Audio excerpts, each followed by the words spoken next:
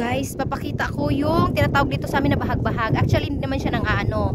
Hindi siya nang hahabol. Pero pag dumikit daw, pag dumikit daw to sa balat mo, mapapasok ka. Yan, hindi siya nang ano. Ganyan lang siya, tahimik. Ayan. Beheg-beheg. Hindi ko alam kung anong tawag sa English niyan. Beheg-beheg. Bahag-bahag. Alin? As, how? Our house there, oh, over there. That, that house. Over there. That house over there. Yeah.